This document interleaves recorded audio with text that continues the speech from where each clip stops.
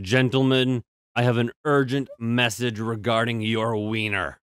There's plastic, micro particles of plastic lodged inside of your wang.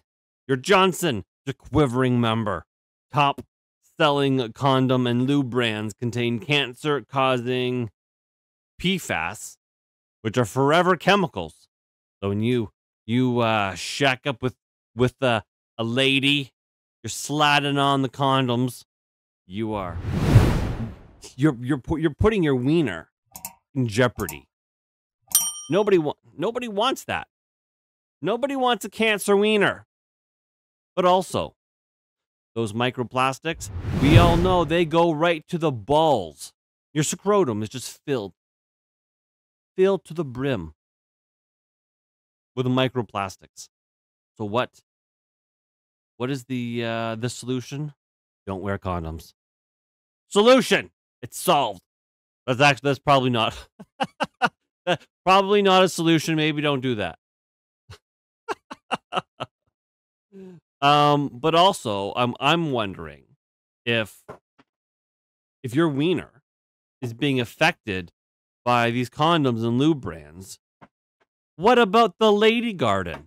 What is happening there? I mean, there's got to be forever chemicals in, in, right? You know what I mean? Like if it's going in the wiener, it's got to be going in the box because it literally goes in the box. So popular brands of condoms and lubricants contain dangerous amounts of toxic PFAS forever chemicals linked to cancer. Research has shown some Trojan condoms and KY jelly lube and gels had high levels of the microscopic particles that are absorbed through the skin and cause untold damage in the body. Do you guys remember when they would put the little sparkly bullshit in the in the toothpaste? And they're like, "No, it's fine. You can just you'll just poop it out. It's fine, whatever." Now we're finding that it's in our balls. Researchers warned that genitals are particularly dangerous organs to expose to PFAS because penis and vagina skin is thin and contains lots of blood vessels. It's probably it's probably true. It's probably true. This increases the risk the chemicals which are linked to infertility, sperm damage, and pregnancy complications get into the bloodstream where they can travel to other organs. So, the gist that I'm getting here is no condoms and just use spit. Hawk Tuah. See? That Haley girl, she was onto something. With, with all that Hawk Tuah she's doing, there's probably not a lot of chemicals in her box. It is thought that the chemicals end up in the products to help repel moisture and liquid during sex. Don't we need the moisture? Isn't that a that's a thing I need? I want it moist. I don't want it dry. Like a cat's tongue. Oh my god. The testing was carried out by Mamavation, a woman's health ad- advocacy group at a government grade laboratory. Researchers checked for the presence of uh, fluorine, a, uh, a sign of PFAS, in 29 reproductive health products. It was found 13 parts per million in the Trojan ultra thin condoms for ultra sensitivity, more than 10 parts per million, more than the 10 parts per million danger level. Believe it or not, I think when my wife and I were dating many, many years ago, I think those might have been the ones that this wiener got wrapped in. Explains a lot, I think. Anyways, fluorine was found at nearly double the level in the, the Union Standard ultra thin lubricated male latex condoms at 25 parts per million. Among the lubes with the highest levels were KY Jelly Classic water based personal lubricant. What? What? KY Jelly is like the bog standard or gold standard stuff, isn't it? That's what I thought. Good lord. A 13 parts per million and Lola tingling tingling mint pleasure gel for spot on arousal was 39 parts per million. So that was bad. No no tingling gel mint for you, my friends. Overall, the report found that six out of the 29 products tested, 20%, had unsafe amounts of PFAS. It is chemically certain that female reproductive tracts will be contaminated by some of the chemicals in condoms. Yeah, it stands to reason, I think. Teresa Hines, a Green Science Policy Institute researcher, said in the report because condoms are an exposure to the most sensitive areas on the human body for both men and women, I would strongly recommend the industry identify and remove these chemicals immediately. So PFAS, per and polyfluoroalkyl substances are microscopic substances that take thousands of years to break down in the environment or a human body. Hence their nickname forever chemicals because they will be around a long time after you're dead. It will get into your ball sack and then you will die and it will still be in your ball sack. You're literally taking them to the grave with you. Their main purpose is to repel water and oil, which is what makes them non-stick. Oh, which is what makes non-stick cookware easier to clean and why certain jackets and tents can withstand rain. You know the funny thing about the climate change people? This is a little bit of an ADHD diversion here, but it's kind of in the same vein as this. The climate change people are like, oh my God, the climate, the climate, the climate whether or not tornadoes are tornadoing or hurricanes are hurricaning or whether it's hot or whatever, that's what they're worried about. I kind of think that's kind of silly, kind of irrelevant. Doesn't actually fucking matter. You know what does matter? Literal pollution.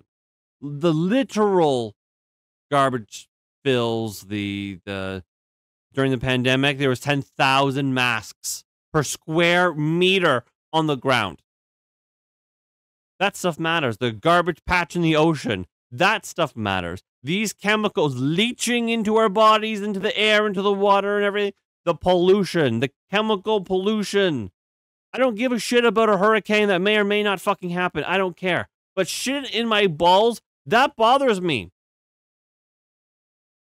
Like, I mean, if leftists came to me and they're like, hey, listen, we understand you don't really care about you know what the what the temperature is going to be like in 50 years because I'll be dead.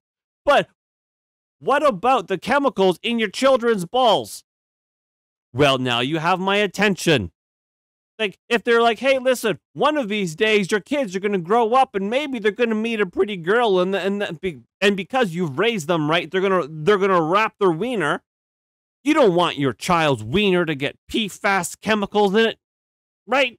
Let's let's do something about pollution. I'd be like, "Hey, you've made a good point. You've sold me." Anyways, sorry, ADHD. But the chemicals can seep into the water supply from washing dishes and can enter food if packaging is made to be grease resistant or if the non-stick coating on pots and pans begins to deteriorate. PFAS are also common in pesticides used to feed crops, which produces chemical rich runoff that can enter the drinking water supply. You see, this is the stuff that I was just saying. That's the stuff that should be we should be worrying about, not whether or not the temperature is going to be hot or cold in 50 years. I don't care about that. I care about this. They have been linked to multiple cancers, asthma, fertility problems, obesity, birth defects, diabetes, and autism. That last part, autism. That obviously means a whole lot to me because I have four autists upstairs running around like absolute animals right now. And so a lot of people will be like, "Oh, well, it's the vaccines that cause autism." Well, not all my ch- each of my children are at various levels of vaccination from complete to the absolute zero and the amounts of autism they have don't correspond. So maybe there's some component of it. Maybe it's the straw that breaks the camel's back. I don't know. But what I do know is that we're poisoning our water, we're poisoning our air, we're poisoning like our soil, our, our, our, our food is poison, everything.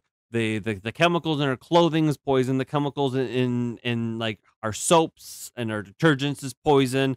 Uh, everything is basically poison. And if something like a condom can put the poison into a woman, I mean, how how much of the poison that that that that a, that a pregnant woman is eating or drinking or breathing in or just having on her body, like like the poison from like her blanket or whatever, how how much of that is seeping into the baby, causing like a chronic inflammation or whatever, allowing aut- autism or, or whatever. You see what I'm saying? Like it's this. That's the problem. The temperature in 50 years, I don't care about it. I don't care about it. Anyways, that's that's this. That's this story here. The long and the short. Top selling condom and lube brands contain cancer causing PFAS forever chemicals, researchers warn. So don't use condoms and and and give it the Ohaktua. Anyways, thank you for watching this video. I love you all. I'll see you guys in the next one. Peace. Peace.